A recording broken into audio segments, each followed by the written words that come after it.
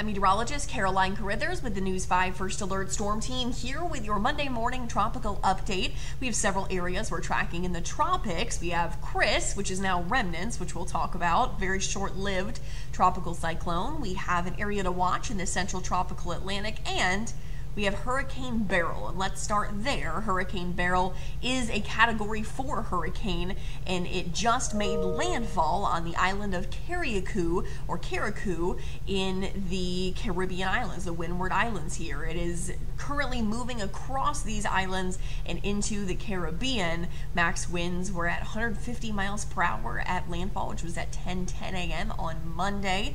And unfortunately, Beryl underwent what's called an eyewall replacement cycle, where it changes its structure and it weakens briefly as it does that, which is why it went back down to a category three this morning, but back up to a category four. Once it completed the eye wall replacement cycle, it did strengthen quite a bit just prior to landfall. Max winds again at landfall 150 miles per hour. So here is the satellite picture, and you can see the typical hurricane structure there, very symmetrical. The eye is very well defined, lots of convection or thunderstorms around the eye wall, very defined there. Again, max winds at 150, it's moving to the west northwest at around 20 miles per hour. So as far as the track of Beryl goes, uh, now that it's made landfall in the, on the Caribbean islands, it is expected to continue its westward track through the Caribbean.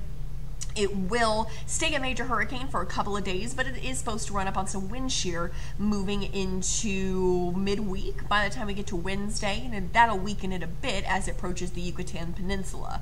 Now, it does look like it'll approach the Yucatan sometime on Friday and eventually make it into the southern Gulf moving into the weekend. Now, most models beyond this put this towards Mexico, continue its west-northwest track. Some models do curve it a little bit further northward into southern Texas, but right now this is not a current threat to our stretch of the Gulf Coast. But if things drastically change, of course, we'll continue to keep you updated. But Beryl Beryl is an impressive system, breaking many records upon its formation this weekend. The earliest Atlantic Cat 4 storm ever recorded. It's the strongest June hurricane on record. It's the first June major hurricane ever observed east of the Antilles, which is east of the Caribbean. Farthest east hurricane ever observed in June as well. So Beryl, a very impressive storm, continues to be impressive and devastating for, unfortunately, the Caribbean islands that it's impacting. Moving on to Chris, we do have an area here that was just an area that we were watching briefly became Chris before landfall, a tropical storm before landfall in eastern Mexico this morning. It is now moving over the mountainous terrain of Mexico, and that has helped it dissipate pretty quickly. So Chris is now remnants. The NHC has issued its last advisory on Chris, so the track of it is non-existent because it has dissipated.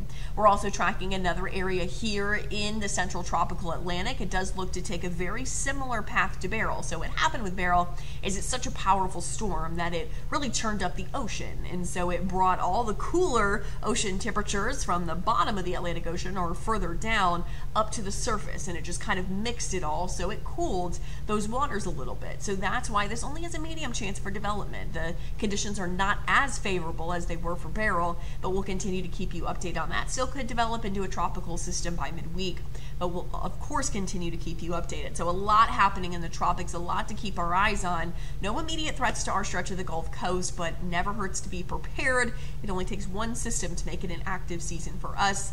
And of course, the first alert storm team will continue to keep you updated.